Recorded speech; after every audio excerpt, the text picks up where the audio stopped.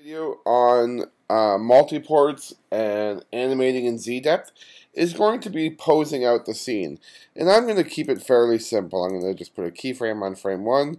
And just for your information, you'll notice that I'm pressing F and G, and that's moving forward and back on the timeline. That's because I've changed my preferences in my general.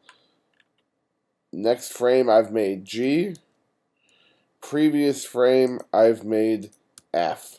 I prefer to have F and G as my default forward and back, but the if you're using your default harmony settings, it would be period and comma, the same as it would be in something, let's say, Flash. Okay, I'm going to just start doing some very, very basic posing, and it's really, in this particular instance, I'm not really too worried about the animation, because it's more of the technical side of what you're trying to do. So I'm going to quickly put the arm, and I'm going to pretend that this is the pose he's taking when his arm is behind his back. And I'll just change his cuff maybe a little bit.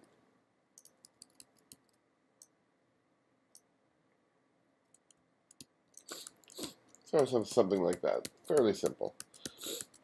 I'll make sure that's a keyframe. You should always make sure that you're making a keyframe. And I'm going to press Shift plus to split those apart. Maybe make a little anticipation.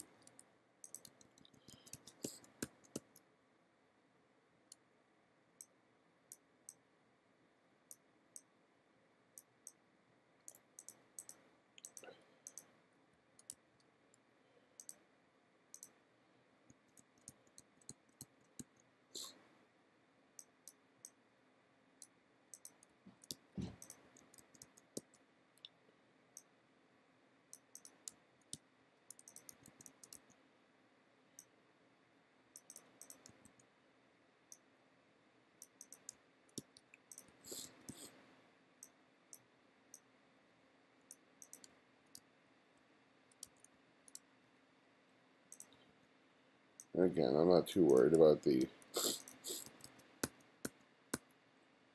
I'm not too worried about the animation because I'm really not thinking too hard about what I want them to do. And I'll just do one more frame. Maybe where he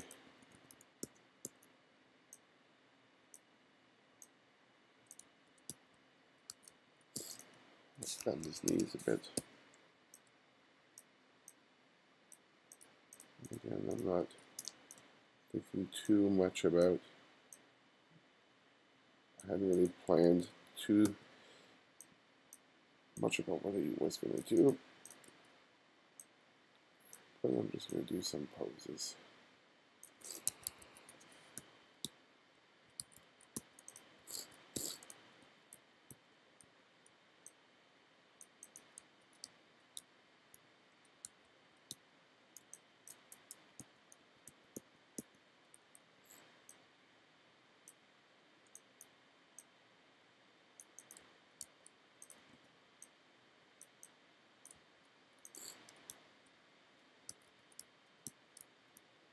Okay, and that's the end of the posing. So I basically have a little anticipation, and he goes, puts his arm behind his back.